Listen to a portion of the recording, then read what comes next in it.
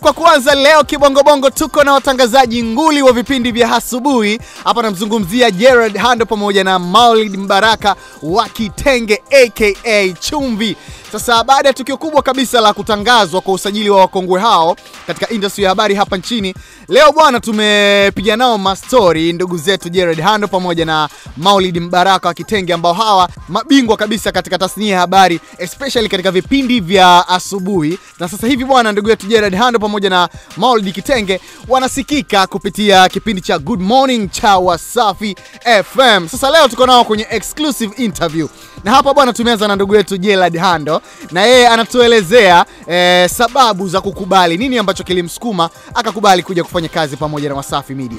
Ni biashara kama biashara nyingine yoyote, lakini kikubwa E, biashara hii biashara hii biashara inahusisha walaji kama walaji wengine kwenye biashara nyingine chochote, kwa maana msikilizaji ndio mlaji wetu. E, kwa hiyo sisi tunawajibika kutafuta siku zote, tunasema base pana zaidi, wasikilizaji wengi zaidi, maslahi mapana zaidi na mengine ambayo yanaendana na hiyo. Kwa hiyo hakuna dhana wala hakuna kitu kama hicho kwamba hii umekula kiapo, umekula yamini. Umetoa mfano mzuri wa mchezaji mpira, mchezaji akiona klabu ile eh, wanashinda makombe mengi zaidi na kuna maslahi mapana zaidi kwa nini kila mchezaji anataka kutoka daraja la pili ende daraja la kwanza, daraja la kwanza anataka kwenda Premier.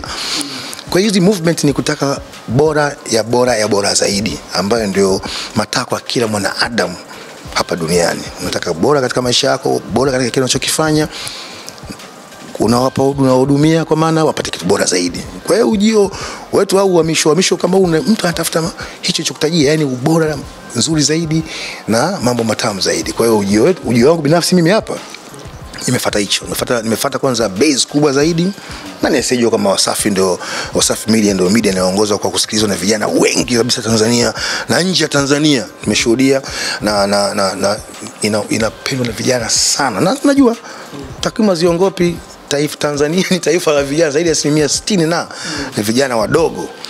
Kwa hiyo hii ni nafasi ya kipekee kwetu sisi kuja kufanya kazi, kualisha vijana maujuzi yetu, mambo yetu na na nadhani kwangu mimi kama mimi nijisemee tu uh, right place to be at the right time kabisa. Pia ndugu yetu Gerard Hando bwana amemzungumzia mkurugenzi wa Wasafi FM Nasibu Abdul maarufu kama Diamond Platnumz juu ya uwekezaji wake kwenye tasnia ya habari, na ukiangalia kwamba yeye ni kijana mdogo, lakini amewekeza sana kwa ukubwa katika tasnia ya habari. Diamond is a, is a very good businessman, yani ni mfanyabiashara mzuri sana ambaye anajua anataka nini na anajua anataka kwenda wapi. Kwa maana kusema anataka nini, maana anajua kila kitu, anataka jua anahitaji nini kufikisha hapo, na ukiangalia moves zake ambazo anazifanya ziko wazi kabisa. Ana uthubutu, ana ujasiri na, na, na, na, na, na malengo bayana. Uthubutu maana yake kutuchukua sisi na wengine ambao wako hapa, sio wake, sio mimi na Maulid peke yake, na kuna wengine wengi tunaona tumewakuta hapa, na naamini kuna wengine watakao kuja hapa ni watu wenye uwezo, ni watu ambao e, wazoefu na ni watu ambao wanaweza watauhakikishia kabisa kwamba malengo yake yanatimia bila wasiwasi wote. Kwa hiyo Diamond to me is a very good businessman, very good businessman. Sina haja kumsifia, bali kwa shughuli yake kubwa anayofanya ya muziki inajieleza. The most successful musician ever in Tanzania ni yeye, wala ile watu munyi, nalizungumza ile with authority kabisa. Nimekuwa kwenye industry muda mrefu wala sio siri, kila mtu anajua he is the most successful musician. mm. Definitely this is going to be one of the most successful media houses. Hilo halina mjadala kabisa. Sawa. Na kitu gani unakizingatia mzee wangu? Umekuwa miaka yote haupoi haupungui, na bado umekuwa kwenye ubora ule ule, na naona naendelea kugenerate challenges kwa presenters wapya na wanaotaka kuingia kwenye industry. Akichungulia unaona mzee, mbona kama bado ameng'ang'ania hivi, so kesho wala leo kustaff. Unazingatia nini ili kuboresha eh, majukumu yako au kazi zako za uandishi? Nidhamu ya kazi. Nidhamu ya kazi ndio kila kitu. Nidhamu ya kazi, kazi unaifanya, nidhamu kwenye maisha yako binafsi na mambo yote unayofanya kwa discipline husika. Hii hamna siri nyingine. Basi wewe mwenyewe maisha yako hakikisha unaishi kwa nidhamu, kusudi last, usichoke mwili, afya na kadhalika. Na kwenye kazi lazima uzingatie taratibu zote za kazi, kwa maana ya kwanza kujiendeleza wewe mwenyewe kwanza binafsi. Usichoke kutafuta knowledge, usichoke kutanua mtandao wako, kwa maana ya watu network yako. Ndio maana unaona nimetoka kule nikaenda kule niko hapa. Nazidi kutanua mtandao wangu sio? Eh, na mambo mengine. Kwa hiyo nidhamu ya kazi nidhamu ya maisha nidhamu kwa ufupi. Katika kile unalofanya ulifanya kwa discipline husika. Ah, success is obvious. Wala ina mjadala wala ina uchawi eh, nidhamu tu kila kitu chokifanya lakini pia tukapata nafasi ya kupiga stori na Uncle Maulid eh, Chumvi ambaye yeye bwana sio mgeni hapa Wasafi Media. Tunafahamu kwamba back in the days alikuwepo hapa akaondoka, lakini this time amerudi tena uh, ndani ya mjengoni Wasafi Media. So tukamuuliza ndugu yetu nini ambacho kilimfanya aondoke Wasafi Media, lakini pia nini ambacho kimemfanya arudi Wasafi Media. Huyu hapa Maulid Baraka wa Kitenge, Chumvi. Mimi kilichonitoa eh, watu lazima waelewe, mkataba ulikwisha. Mimi nilikuwa na mkataba kwanza wa miaka miwili, mm. sasa ulikwisha, na ulivyomalizika tu eh, wale upande wa pili wakaniwahi. Eh, of course ikaja ofa yao na ofa ya Wasafi sasa ikawa kama ime imechelewa mm. eh, kwa hiyo nikasema ah, kasa basi kwa sababu ofa hii imekuja mm. basi wanasema wazungu inayokuja ya kwanza ndo una unaenda kwa hiyo ika- ika- ikawa imekuja ile nikaichukua. Mm. kwao nikaenda leo nimerudi tena nyumbani. Mm. unaona kwa hiyo nimerudi tena nyumbani. Mimi ni eh, kijana kutoka wasafi. Nimekuwa hapa kwa miaka miwili nimeondoka sasa nimerudi tena mm. e, sasa e, mkataba uliopo ni mrefu kidogo mm. uh, wasisubirie watachoka e, watachoka. Uliopo kidogo ni mrefu mm. e, tena nadhani safari hii e, Sheikh Mansuri e, ameamua asifanye kosa kama alilofanya wakati ule. Kwa hiyo ameweka mkataba mrefu kabisa, na basi na, mimi na mzee mwenzangu hapa Hando mm. kwa sababu tufanye kazi mm. na kama alivyosema Hando, hii ni station ambayo ina imeteka vijana imeteka vijana e, waliopo mtaani, lakini imeteka vijana katika mitandao mm. kwa hiyo ni na sisi ni vijana bado tuna nguvu. Mimi ukiniangalia bado na nguvu ya kufanya kazi kwa miaka kumi na tano ijayo kwa, kwa, kwa nguvu ile ile. Ukimwangalia Hando hivyo hivyo eh, kwa hiyo ni, ni watu ambao kusema kweli e, na tumezungumza kwa kina na Sheikh Mansur. Sheikh Mansuri safari hii ameingia kisawa anasema bwana, sasa hivi Maulid na Hando, mimi nataka bwana niwe e, taikuni ule wa media Tanzania. tukaambia bwana, eh, kwa hilo umefika, sisi tutakusaidia na tumekutuko hapa hapa ndio.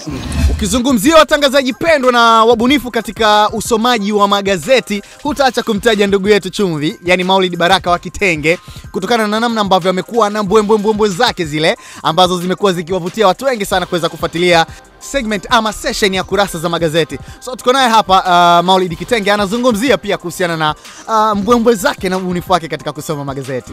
kabla ka, kabla kwenda hewani tunayapitia mm. tunayapitia na tunaona hii inafaa kwenda kwenda hewani kwa sababu of course sisi tumekuwa mimi na Hando mimi, kwa mfano mimi ni mwaka wa 25 huu na hata ukimwangalia ndugu yangu Hando na huko huko mm. kwa hiyo tumekuwa wazoefu tunafahamu miiko tunajua kila kitu hiki bana hiki hiki kwa hiyo tunaiangalia gazeti tunasema ah hili tuende nalo hili tuende ehe kwa hiyo kuna magazeti mna- mnatupaga mbali kwa hiyo atatuingiza kwenye mgogoro. haya. haya tuna- tuyatupi lakini tunaiangalia habari ilivyo tunakuja tunaitengenezea namna ya kupita mm. e, tunaitengenezea namna ya kupita maana tutupi sisi bwana tunaitengenezea namna nzuri inapita kama walikuwa na makali kidogo na sisi tunaangalia, au kwa wengine ndio maana kuna chumvi unaona hivi chumvi inaongezeka inapita tunapita nayo simu zishai kupigwa kwa sababu labda ya kusoma kitu cha habari. Kapigwa simu bwana nakuhitaji uje kutoa maelezo huko. Ah, bana hakuna hizo hizo hakuna. Tumekwenda vizuri. Hakuna hizo. Na nipongeze kusema kweli nchi imekuwa na uhuru kusema kweli sasa hivi wa vyombo vya habari. Vyombo vya habari vinaandika unaweza kuona. Kwa hiyo hatubanwi banwi eh, tunasema tunatoa maoni yetu na tunasonga mbele. Mm. sawa uh, watazamaji wa Wasafi TV hawa ni magwiji wa Wasafi FM na kinawaka kuanzia asubuhi pale mapema Ah, zaidi. asubuhi bwana wewe katika good morning habari za asubuhi. Hando analianzisha kuanzia kumi na moja. Mimi nakuja kuungana naye kuanzia saa moja pale na dakika tano katika magazeti mpaka mbili pale. Yani tunahakikisha kwamba nchi inasimama kwa wakati ule wanasikiliza wasafi fm wanaangalia kwenye wasafi eh, media youtube channel yetu wasafi tv yani kwa hakika tunataka nchi wakati ule yote ina- inaitazama hapa. Mm. nini hawa vijana leo wanakuja nayo? Ajenda yote ya nchi inaanzia hapa. Nini hawa vijana leo wanaenda kuzungumza asubuhi hii? Mm. ndio. Good morning. Habari za asubuhi. Kurasa za magazeti zikiwa ndani yake. Uh, wawekezaji ni wakati sasa wa kufanya kazi na sisi. Uh, kama mnavyojua sisi ni uh, wakongwe katika hizi kazi mm. tutawapa kile wanachokitaka mm. na tutakifikisha vizuri kwa walaji wao mm. wa, kwa hiyo kwa muhimu waje wafanye kazi na sisi kupitia show yetu uh, ya good morning habari za asubuhi mm. lakini kupitia pia kurasa za magazeti chumvi ndimu pamoja na mende yani chumvi na ndimu ndio imbo katika, katika, katika ile nanii ile ile tunatengeneza nini? Tunatengeneza kachumbari. Mm. sasa kaingia na mende katikati sasa sijui kama kachumbari italika rafiki yangu. Yani wewe sijui itakuwa utajua hapo hapo ndio asubuhi unajua pale. Ukipenda wazee wa minyama. Wazee wa minyama. Yani minyama. Mnajipakulia minyama minyama. Yani sisi ni minyama. Kwa hiyo umezungumzia mamensheni walete tuyapakue na minyama. Na hivi Sheikh Mansuri ameshacheka na minyama